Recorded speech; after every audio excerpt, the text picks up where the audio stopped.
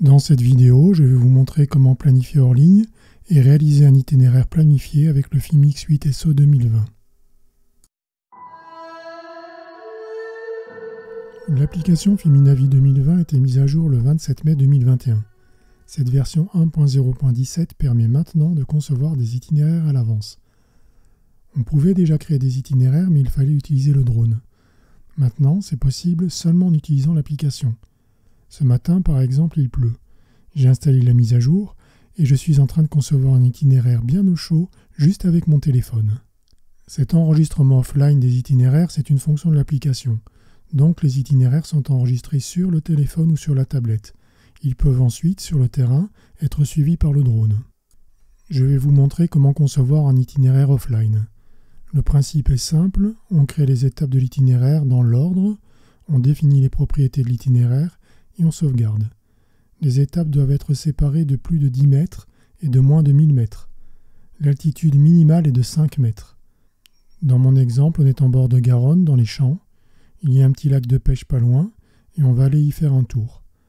Pour accéder au mode de vol intelligent, dont les itinéraires font partie, il faut appuyer sur cette icône en bas à droite on voit que même non connecté au drone, donc offline, maintenant on peut choisir Waypoint. Un message d'avertissement s'affiche. Il faut faire attention à la hauteur et aux distances. Oui, parce que pouvoir utiliser la vue satellite Google Maps, c'est génial, on s'y croirait presque. Ouais, presque, c'est un petit peu ça le problème. On n'est pas vraiment sur le terrain. Alors on a vite fait d'oublier des obstacles qui pourraient être assez hauts, et on a aussi tendance à créer des itinéraires qui sont trop longs.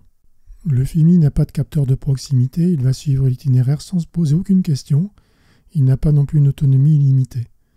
Donc il faut bien faire attention à ces deux facteurs lors de la conception de l'itinéraire, mais aussi lors du vol. Bien sûr, en vol, il est possible d'arrêter le suivi d'itinéraire à n'importe quel instant. L'interface est bien pensée. En bas à droite, la croix sert à quitter la création d'itinéraire. En haut à droite, la flèche permet de définir les caractéristiques de l'itinéraire et de l'enregistrer. J'ajoute la première étape qui va nous servir de point de départ. On peut voir que les étapes sont numérotées, qu'elles ont une altitude, qu'il est possible d'effectuer une action en arrivant à l'étape.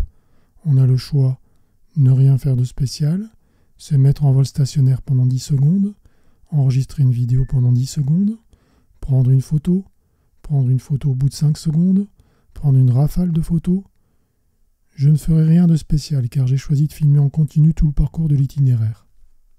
30 mètres comme altitude, ça me convient. Il n'y a pas d'arbre bien haut dans le coin, donc je ne change rien j'ajoute l'étape. L'étape apparaît en rouge car elle est sélectionnée. Maintenant que mon itinéraire comporte une étape, je vois deux icônes à gauche. L'icône avec les trois barres permet d'accéder aux propriétés de l'étape sélectionnée. Si je clique sur ces propriétés, je peux les consulter et les modifier. Juste en dessous, L'icône avec la poubelle permet de supprimer l'étape sélectionnée. Ici, je supprime l'étape et je la recrée à nouveau. Les itinéraires sont décrits rapidement dans la documentation officielle. Mais le but de cette chaîne, c'est de vous faire gagner du temps, donc on va se passer de la doc. D'ailleurs, si vous voulez gagner du temps à l'avenir avec ce drone, abonnez-vous. J'ajoute la seconde étape, dans les champs. Pour avoir une vue d'ensemble, je décide de monter à 120 mètres. J'ajoute la troisième et la quatrième étape en longeant le lac. Et j'ajoute la cinquième étape qui me servira d'arrivée. Je choisis, disons, 50 mètres pour être sûr de passer au-dessus de ces arbres. Alors ce que j'aimerais faire, c'est de faire pointer automatiquement le drone vers le lac. C'est possible en utilisant des points d'intérêt. Ça se passe ici dans l'écran des paramètres d'itinéraire. Dans cet écran, je vois que j'ai 5 étapes. Route cycle est égal à 0 signifie que je ne vais parcourir l'itinéraire qu'une seule fois. La longueur de l'itinéraire ferait presque 2 km. ET est l'estimation de la durée en secondes. Je vais choisir une vitesse qui me permette d'effectuer l'itinéraire en à peu près 10 minutes. Ça donne environ du 8 mètres par seconde, ce qui en km heure, 8 x 3,6, fait environ 28 km heure. On peut prendre un timelapse vidéo ou un timelapse photo. Par exemple, pour un timelapse photo, on peut régler l'intervalle entre chaque photo à 2 secondes, 5 secondes, 10 secondes, 30 secondes ou 60 secondes. L'orientation du drone est réglable dans Heading. Par défaut, le drone est orienté vers le prochain point, c'est le choix route, mais on peut aussi choisir une orientation libre, c'est le choix free. Quand l'orientation est libre, soit on fait tourner manuellement le drone, soit on le fait pointer sur un point d'intérêt. Pour un itinéraire, on peut définir jusqu'à 4 points d'intérêt. Et pour chaque étape, on peut choisir un de ces points d'intérêt. Ici, par exemple, je vais utiliser 3 POI. Un premier POI pour les étapes 2 et 5 qui sera au milieu du lac. Un second POI pour l'étape 3 qui sera au bout du lac. Et un troisième POI pour l'étape 4 qui sera à l'autre bout du lac. Si on veut parcourir plusieurs fois l'itinéraire, dans route cycle, on peut aller de la dernière étape à la première étape directement en ligne droite, ou bien refaire le trajet en sens inverse. Dans Failsafe, on peut choisir ce qui se passe si on perd la connexion.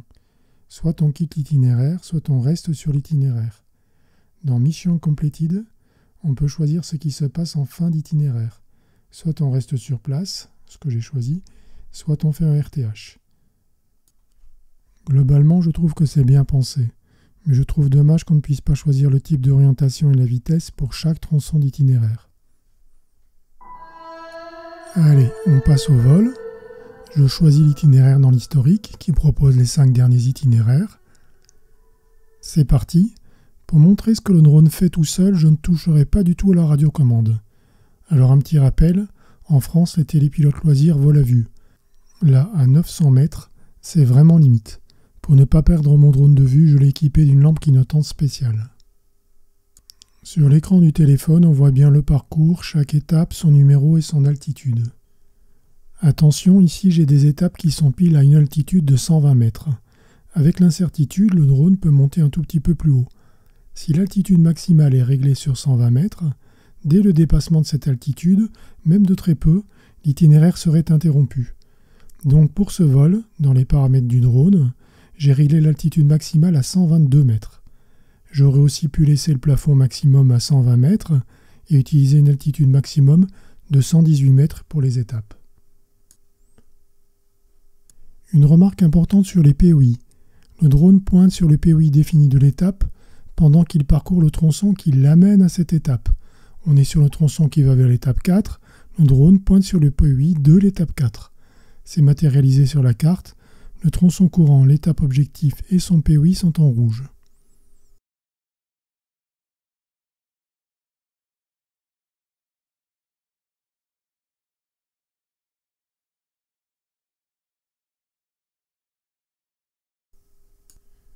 En conclusion, ça fonctionne bien. C'est perfectible. Un SDK, par exemple, serait vraiment formidable, mais c'est déjà très bien.